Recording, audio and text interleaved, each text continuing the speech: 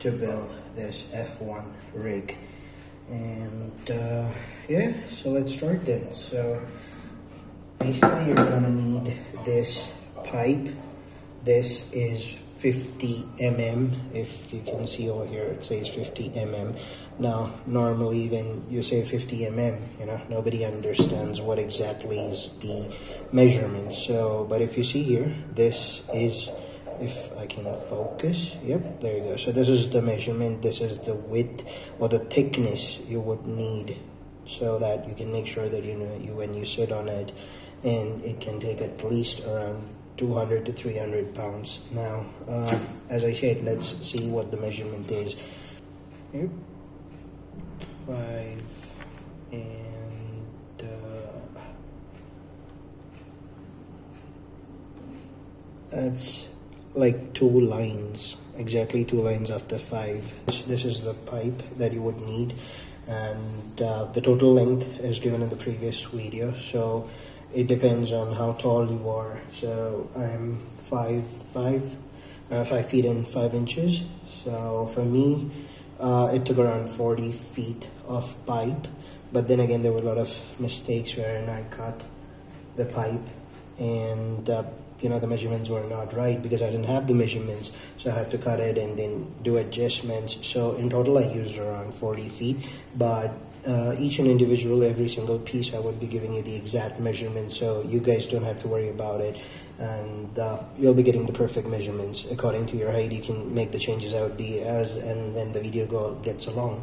I'll be giving you proper measurements where you need to increase the size or you can decrease. The other ones would remain the same because you don't want to um, you know, play with the structure wherein it gets weak when you said you don't want to fall down. So safety first. So wherever you can increase the height or the length, I would let you know. But wherever the main structure is there, I would, would not want to compromise on that. So there you go. So there's the one pipe that you need. So not, not one pipe, but 40 feet of pipe that then gets cut into pieces into whatever the measurement is. I would let you know. Now this, you guys would have, you know, looked at the numbers. So I've numbered them uh, I'll tell you that later in the video but this this line do you see this line? Why is this line? So I'll tell you that as well.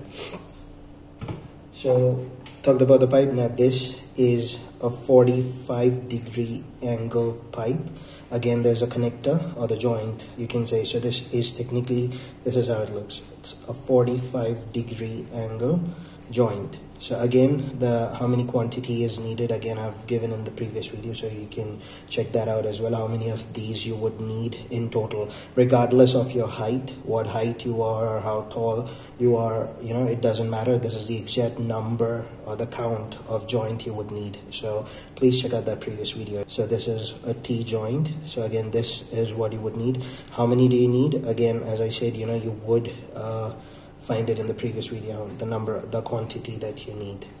The other thing that you're gonna need is a elbow. It's known as an elbow or a 90 degree joint. It's exactly in 90 degrees again. So this, again, you would know um, what is the number or how many number is needed in the video. An actual blade. So you need an actual blade as well to cut. Now, this is something that I got in 10 rupees in Indian currency, which is like what 10 cents or something for you guys. I don't know where you guys are from, but uh, it's really cheap. So you can have at least, uh, um, but this is very flimsy.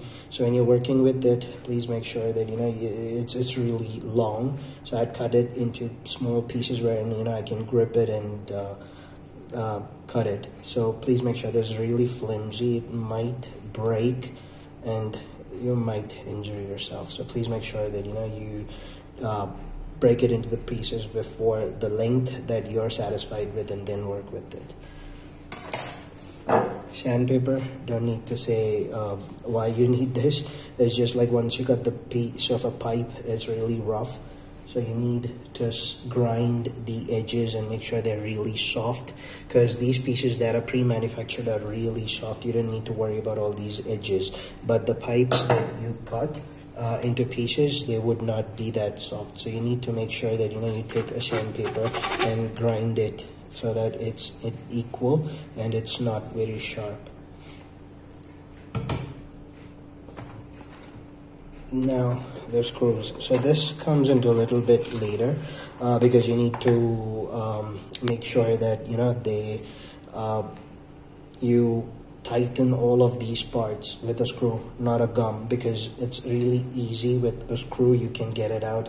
You can remove it you know store it someplace. Again if you want to make sure you want to build that seat so you can bring it back up again and uh, assemble it put it back again but with a glue you will not be able to do that again. And with a screw it will be really tight.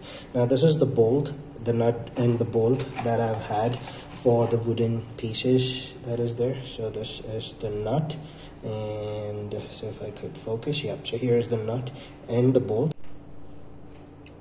So uh, yeah. So remember that I was telling you why these lines were marked so if you see here carefully you can see the depth.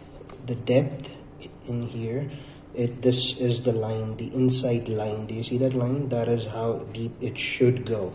Now if I put this pipe in here I don't know how deep it has actually gone. So if you see from here in this angle I don't know if you'll be able to see it but it's not getting actually deep inside that line if you can see that right? See that? It's not getting in. So once you get that in now you can see it's actually reaching that part.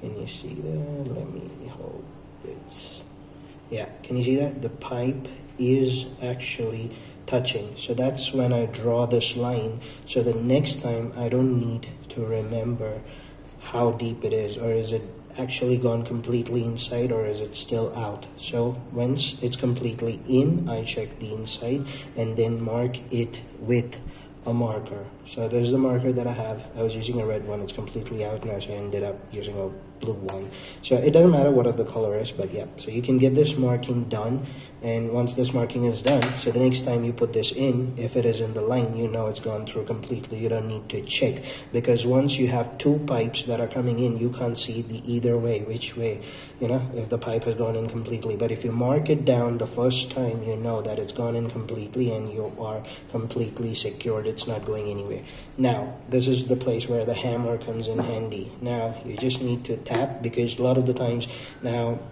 you guys would be having the exact measurement but I was not having so I had to fit it, remove it you know so many times. So this is where the hammer came in handy. Tap it two or three times and uh, it would come off. Otherwise it wouldn't come off. And this is where the little trick that I was talking about apply oil over here in in the inside part of it. If you apply oil and if you fit it it's really easy. You can get it with your bare hands. But pros and cons if you do that it'll really get messy. So make sure you have a cloth handy to wipe the excess amount of oil that is in there. But it's seriously helpful. Put in oil and it'll help connectors. Now what do these do?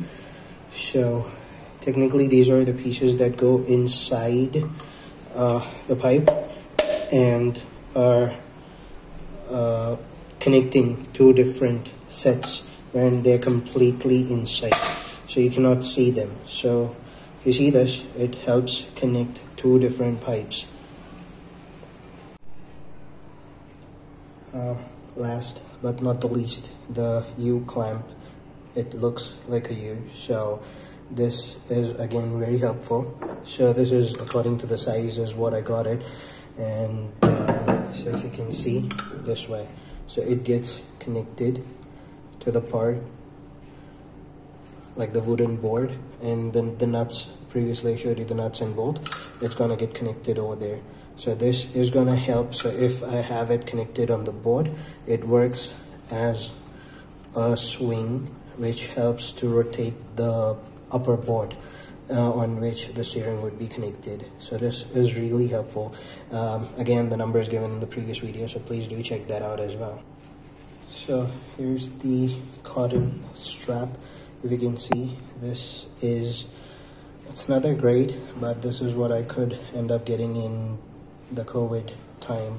So yeah it, it was a huge reel as you can see. Uh, it was around 90 meters. So yeah it was around 90 meters. Uh, finally got the thing done.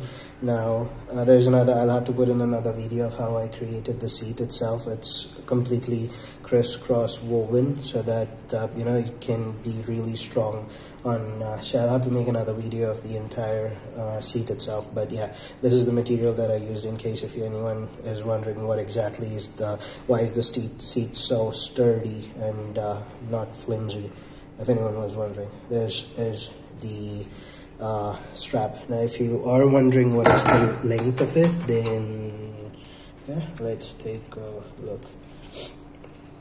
Yeah it says around six centimeters. Uh, don't if you guys can see it. Yep six six. And it's not that thick but yeah it'll do. All right thank you guys